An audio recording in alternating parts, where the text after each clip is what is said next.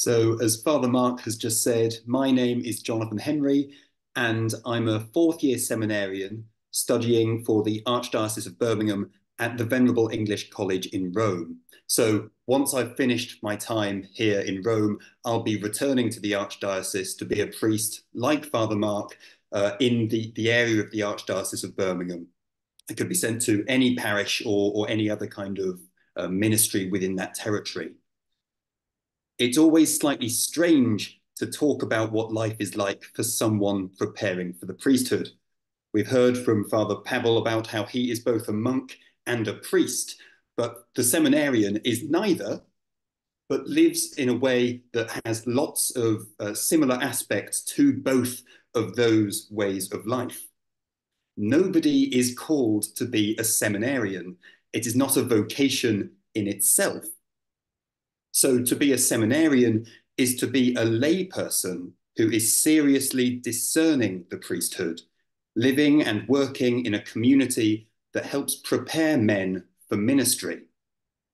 Over the course of eight years of formation, seminarians grapple with a whole load of questions about themselves, about the priesthood, about the church. And just like how Father Mark was able to separate out three different aspects of priestly ministry, uh, these days we can separate uh, training for the priesthood as well into four pillars of formation as they're known in, in the church's documentation.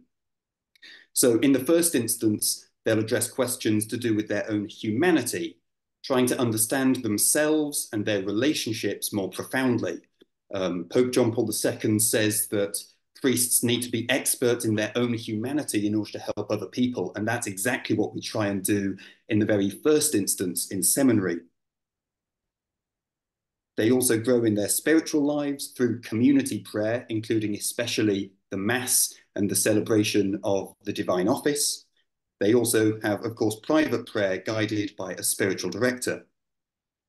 They also study philosophy and theology to try and have a solid grasp of the church's teachings, and they prepare themselves for pastoral ministry. They apply what they've learned in the classroom to the complicated reality of the world around us through placements in parishes, schools, hospitals, prisons, and everywhere else. So, to answer the question, what is my vocation? I'm pretty confident at this point that my vocation is to be a diocesan priest, but every single day is an opportunity to think again and to ask through my prayer and through my daily work whether I'm in the right place. And at present, that question of discernment is exactly what the church wants me to do. My sense of a priestly vocation then began in quite a similar way to Father Pavel's, with my involvement in my home parish. I was one of the altar servers and under the guidance of a very inspiring parish priest, I took pride in my involvement at Mass as a true act of service for the parish. I knew that serving Mass well made it easy for everybody to pray, that ceremonies running smoothly were an external sign of heartfelt devotion to God. But it wasn't until my parish priest moved to his next assignment that I began to recognize that God might be calling me to the priesthood as well. During our priest's induction mass in his new parish, when I was about 14 years old, I was daydreaming during the Eucharistic prayer, as many young people do, and I caught myself as I asked, I wonder what parish I might end up in when I'm older. How would I order things in a parish community? It wasn't as though I felt called out of the blue to become a priest. Instead, I felt as though God had been gradually working in my life to give me the skills and the experiences that I would need to serve as a priest well. And that this, for me, was the moment when I first consciously recognized the gifts that He had always been giving me, that He wanted me to share with others. While some people do seem to have a moment like St. Paul on the road to Damascus, where they suddenly realized that they had been looking for God in completely the wrong place, mine was a bit more like the road to Emmaus. There was a moment when God showed me what he had been doing in my life the whole time. So, as for daily life in the seminary, things are slightly different from place to place. Every community has its own different way of doing things. But here in Rome, our day begins with morning prayer as a community at 6.45, followed immediately by Mass. We're a community of about 30 people, including uh, seminarians, deacons, student priests who might be coming back for further study, and then the community of staff as well.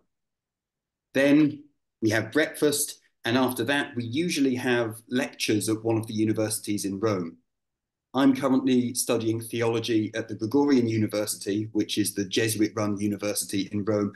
So I usually have two to four hours of lectures each morning, covering a really wide range of subjects.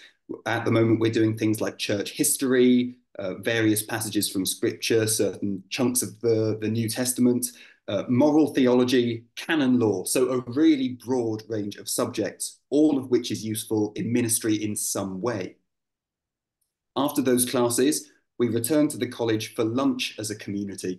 And I'd add at this point as well, lunch sounds like a reasonably boring practical part of the day. But when you are living together as a community and you do have these times where we all come together in a way that's compulsory, but more than that, it's a way of bringing people together. And it is truly practice for diocesan ministry when you're not always in the mood to be having those kinds of conversations.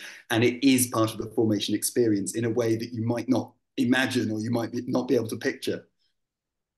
Then in the afternoons, while our timetable doesn't seem to have that much on, there's an enormous amount going on in the background. Some of us head out for our pastoral work somewhere in the city for a few hours. Others might have some practical classes in-house addressing topics like homiletics or how to hear confessions or how to say mass. There might be some work to get on with for the house, like choir rehearsals or giving a tour to a group of guests, or there might be a university essay to get on with. There's also some beautiful opportunities for prayer led by the community. There's a holy hour most days led by one of the seminarians from five until six. And after all of this, we come back together for evening prayer as a community before the day draws to a close. It goes without saying that in the midst of all this activity is faith. Without faith, the entirety of seminary lacks direction, it lacks purpose. But at the same time, there is something about the programmed routine of seminary and how busy everything seems to be that sometimes it's easy for our relationship with God to accidentally disappear from view, for morning prayer to become just words rather than authentic prayer, especially at that early time in the day, or for our pastoral work to become a box ticking activity rather than a means of encountering God through true service. Part of the process of discernment, then, and one of the areas for growth throughout these eight years, is how we're able to integrate our life of faith into the practical demands of seminary. While most parish priests don't have quite as strict a timetable as we do, there are certainly many practical demands on their time. And to be able to see all of this as building up a relationship with God rather than a barrier to that relationship is key to living the priesthood well seminary life is truly mixed with joy and with sorrow. The most obvious source of sorrow is exactly what I described at the, at the beginning, that nobody is called to be a seminarian.